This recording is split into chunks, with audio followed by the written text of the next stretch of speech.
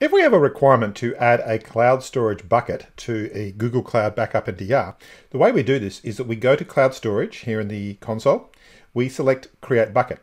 Now, if you do not have a role that allows you to create buckets, you'll need to add one. The most common role often given is simply cloud storage admin. Uh, the tasks are fairly simple. We need to uh, name our bucket. The bucket names need to be globally unique. We then need to choose our region. Now you should choose a region which best suits the desired location of your backup. It's very easy to say. Sometimes it can be very hard to do because you need to have a clear understanding of where your source data is, where you're envisaging a disaster recovery recovery site would be.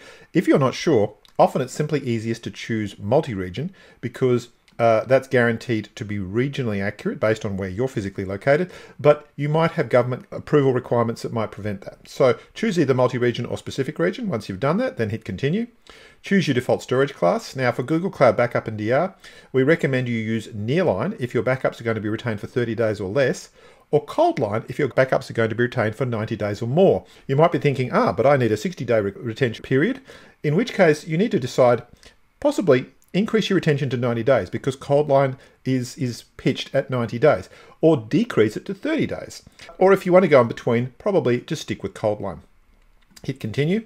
From a access control perspective, always leave it on uniform. Hit continue. From a protection tools perspective, always leave it on none, and then hit create. Once your bucket has been created, one last task to do is to go down to permissions. Under the permissions folder, one of the things you want to do is ensure that the OnVault user you created earlier, and you might have called it something else, is listed as a principal.